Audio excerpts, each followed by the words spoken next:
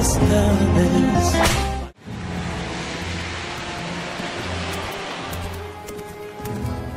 ¿Y ahora qué anda haciendo la víbora en los terrenos de los Montesinos?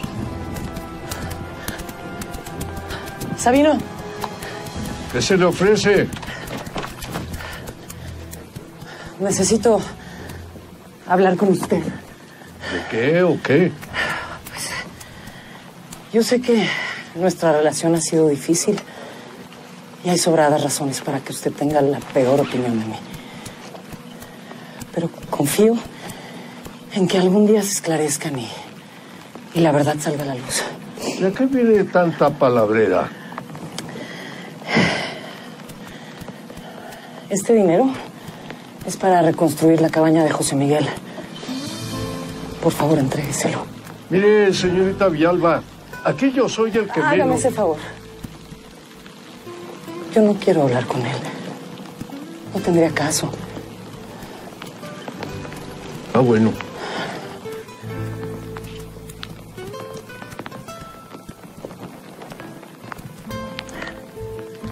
Y otra cosa.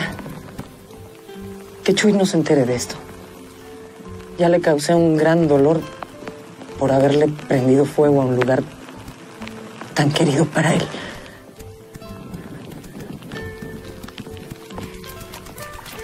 O- oiga, se- sí, señor.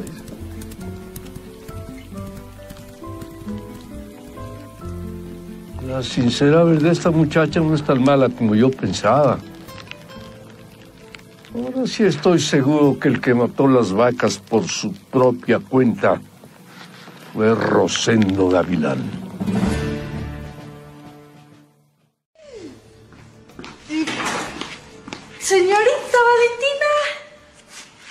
Vi el carro de Felipe estacionado allá afuera. Vino a quitarle los puntos a Alonso. Deberías de subir para que te diga bien a bien cómo está.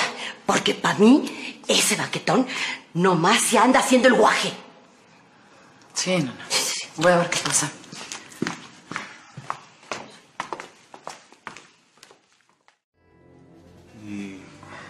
Con el tiempo van a desaparecer las cicatrices. Pero a mí me duelen mucho las costillas.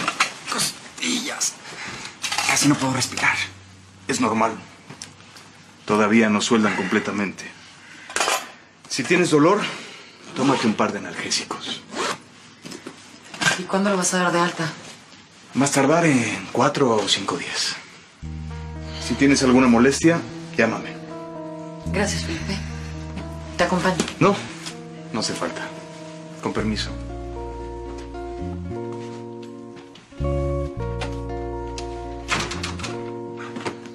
¿Ya oíste? En unos días podrás regresar a México. Voy a aprovechar hasta el último momento de mi estancia aquí para lograr tu perdón. No te esfuerces demasiado, Alonso. Ya te dije que soy un hombre muy distinto al que conociste. Un libro abierto. ¡Basta! Para mí todo está muy claro. Valentina. Hay algo de mi pasado que tienes que saber. ¿Te acuerdas de Brenda y Santiaguito? ¿Qué tienen que ver tu prima y tu sobrino? Ella no es mi prima.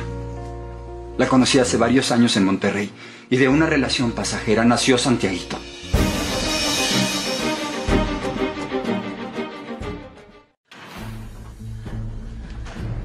Cuando Brenda se enteró de nuestra boda, vino a verme. Estaba preocupada porque pensó que al casarme contigo me iba a desentender del niño. Entonces me amenazó con presentarse en la iglesia con él. Sé que al decirte esto, puedo ganarme tu repudio, pero lo prefiero a seguir ocultándolo. Un hijo no es motivo de vergüenza. Tu error fue no habérmelo dicho cuando te conocí. Tienes razón. Ese fue uno más de mis tantos errores. Eres una caja de sorpresas. ¿Qué otra cosa me ocultaste? No hay más, Valentina. Solo te aclaro que Brenda nunca significó nada para mí. Yo te amo. Te amo y quiero que tú seas la madre de mis hijos. Para mí eso no tiene ningún significado. Estoy dispuesto a esperar el tiempo que sea necesario soportando todos tus insultos hasta que quedes limpia de rencores. Ya te dije que yo no te amo. Y no esperes un futuro entre nosotros porque no lo hay. Quizás tengas razón. Pero el que hayas terminado tu relación con José Miguel me alienta a pensar que tengo una esperanza. ¡Qué absurdo! ¡Qué absurdo! No tiene caso continuar con esta conversación que no nos lleva a nada.